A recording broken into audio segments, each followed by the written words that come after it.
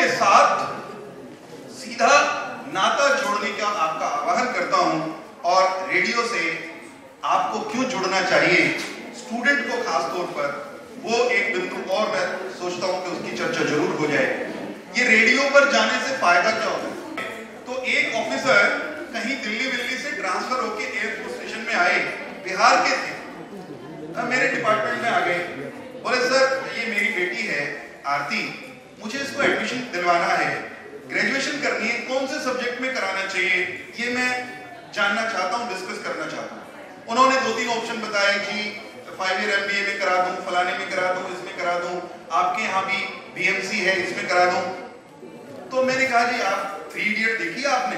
सबने देखी three idiot का मैसेज मैं सबको देता हूँ। मैंने कहा जी आपने थ्री इडियट नहीं देखी तो एक बार तो थ्री इडियट देख लो। बच्ची को कहा एडमिशन कराना है ये जानने से और डिसाइड करने से पहले वॉच थ्री इडियट अब थ्री इडियट को बोले जी हाँ देखी हुई है तो उसका मैंने कहा मैसेज ये है कि जहाँ पर विद्यार्थी की रुचि है वहाँ पर उसको एडमिशन कराओ। बोले जी रुचि की चलो मैं बात कर लूँगा लेकिन ना हमारी बेटी थोड़ी सी संकोची सी है। बाहर निकली नहीं। थोड़ी सी शर्मिली सी है। मैंने कहा बेटियाँ शर्मिली हो ये तो अच्छा लगता है। ये तो भारत की परंपरा है लेकिन आपकी बेटी मास्कोम में अगर आएगी तो उसको शर्मिली भी रहेगी वो लेकिन उसको गर्मीली हम बना देंगे उस बच्ची ने आरती ने मेरे मेरे कहने के बाद बीएमसी में एडमिशन ले लिया पहले दिन जब वो आई मास्को में मनमोहन जी तो एक सिद्धांत ये होता है, डॉक्टर उदयभान सिंह ऐसे करते होंगे, खूंखार अध्यापक है।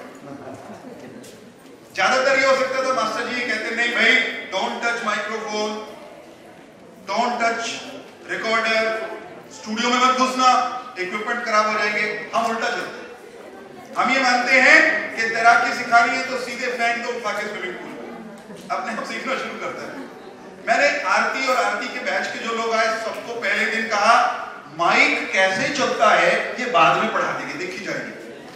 तुम खुद पढ़ लेना, नहीं तो क्लास में कोई प्रोफेसर पढ़ाएँगे। लेकिन go and have a feel of the microphone इससे दोस्ती करो। और पहले ही दिन उनको स्टूडियो में ले जाकर ये कहा कि तुम बोल सकती हो तुम बढ़िया बोल सकती हो और मैंने ऐसा उसको बोलने का वो क्या प्रेरणा थी कि जब ये आरती थर्ड ईयर से वहाँ गई इतना बोलती थी इतना बोलती थी कि ये कहते थे, भाई, तेरा कोई रिमोट कंट्रोल है क्या? म्यूट करने माने ये जो माइक्रोफोन है, ये जो रेडियो स्टेशन का माइक्रोफोन है कम्युनिटी रेडियो है, इसके साथ जुड़ाव आपके भीतर आत्मविश्वास भरने का काम करेगा।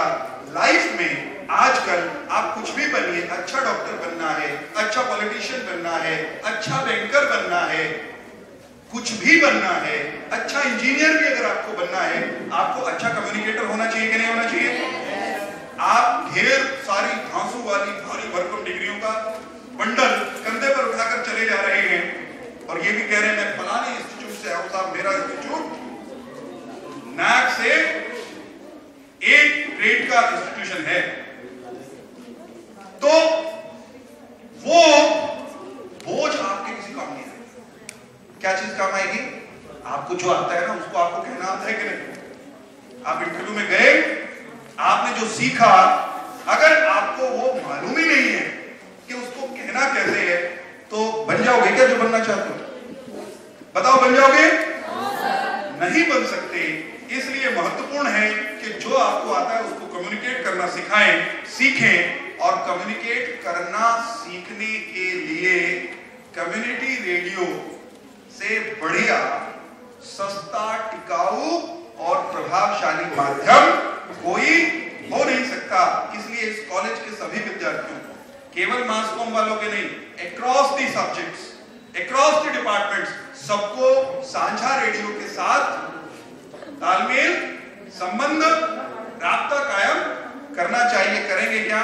Yes, और अंतिम बात आज का थीम इस बार जो वर्ल्ड रेडियो डे है विश्व रेडियो दिवस है वो खेल और रेडियो पर है। फोकस है, उसका थीम ये रखा गया है। सारी दुनिया में यूनेस्को के आवाहन पर यूनाइटेड नेशन संयुक्त राष्ट्र संघ से जुड़े हुए सारे देश तेरह फरवरी को वो विश्व रेडियो दिवस मनाते हैं।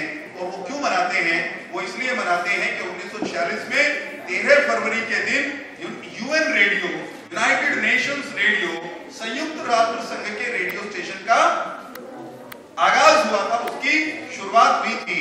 और 2013 से सारा संसार इस दिन को मनाता आ रहा है। आ, कुछ फैक्ट्स इससे जुड़े हुए ये हैं कि 2010 में स्पेन वालों ने कहना शुरू किया था कि सब कुछ होता है साहब ये डे वो डे होता है। तो ये रेडियो डे भी होना चाहिए। रेडियो में रेडियो को लेकर दुनिया में कोई एक दिन त्योहार की तरह होना चाहिए। रेडियो को लेकर कोई एक दिन होना चाहिए जिस दिन सारे संसार में रेडियो से जुड़े मसलों पर चर्चा हो। तो स्पेन की जो एकेडमी है रेडियो एकेडमी है देवर फ़र्स्ट टू प्रपोज कि एक दिन ऐसा होना चाहिए जिसको हम वर्ल्ड रेडियो डे कहें। स्पेन की एकेडमी ने उनकी गवर्नमेंट को कहा, उन्होंने यूनेस्को को लिखा और अल्टीमेटली यूनेस्को की जनरल कॉन्फ्रेंस ने यह तय किया कि 13 फरवरी हर वर्ष वो विश्व रेडियो दिवस के रूप में मनाया जाना चाहिए। हर वर्ष किसी एक थीम पर सारे संसार में दुनिया भर के सामाजिक संगठन, शैक्षणिक संस्थान यूएन ऑर्गेनाइजेशंस वो रेडियो से जुड़े मसलों पर बात करते हैं। रेडियो मनुष्य के जीवन में, मानवता के जीवन में क्या बदलाव लाने का काम कर सकती है, उस पर काम करते हैं। इस बार का थीम खेल है और ये अपेक्षा है, इस वर्ष के थीम के अंतर्गत के रेडियो खेल दोनों मिलकर के मानव के कल्याण का मार्ग कैसे प्रशस्त करते हैं इस पर काम होना चाहिए खास तौर पर समाज के जो वंचित तबके हैं उन पर फोकस होना चाहिए और एक और बात उसमें कही गई है कि रेडियो और स्पोर्ट्स में खाली क्या लगता हमको? क्रिकेट। ऐसे ही ना? पुराने लोगों को ध्यान होगा कि रेडियो पर कमेंट्री सुनने का क्या होता था? सनक। बावड़े हो जाते थे लोग, लगे रहते थे। जैसे हरियाणा में ना एक बात सुनने को मिलती है कि ये ताश वाले की ताश खेल रहे हो ना? किसी सुना नहीं होगा हरियाणा में ऐसे कहते होते हैं कि अगर ताश खेल रहे चार लोग कहीं बैठ के गाँव में और उनमें से किसी की माता जी का निधन हो जाए, कोई भाग के आए बताने के लिए। भाई सतपाल, तेरे माता जी गुजर गए। तो ताश ऐसी बीमारी है कि वो ताश खेलने वाला ये कहेगा अच्छा अच्छा चलो, संस्कार की तैयारी करो, आया एक बाजी लगा सचमुच ऐसे ऐसे नशेड़ी हो जाते हैं। ताश खेलने वाले जानते होंगे, मैं तो खेलता नहीं, लेकिन मैंने लोगों को देखा है। तो जैसे ये तशेड़ी होते हैं ना, ये नशेड़ियों की तरह हो जाते हैं। ऐसे ही एक युग था जब रेडियो पर क्रिकेट कमेंट्री का नशा होता था लेकिन वर्ल्ड रेडियो डे पर इस बार थोड़ा सा बदलाव करने का यूनाइटेड नेशंस ने कहा है कि जो ये फ़ेमस गेम्स है क्रिकेट क्रिकेट की तो इस पर तो बात होती है इस बार वर्ल्ड रेडियो डे से शुरू होकर और वर्ष भर फोकस इस बात पर रहना चाहिए कि कुछ खेल जो लोकल खेल हैं, जो समुदाय के खेल हैं, जो स्थानीय समुदायों के आंतरिक इंडिजिनस गेम्स हैं, उन गेम्स को भी बढ़ावा मिले और उनको बढ़ावा देने में वहाँ के जो रेडियो स्टेशन है अपनी भूमिका अदा करे, ये भूमिका कम्युनिटी रेडियो औरों की तुलना में ज़्यादा निभा सकता है। क्योंकि जो बड़े स्टेशन हैं, उनको लोकल चीज़ें दिखाई नहीं देंगी। जो कमर्शियल स्टेशन है, उसको बैक टू बैक गाने बजाने से फुर्सत नहीं मिलेगी।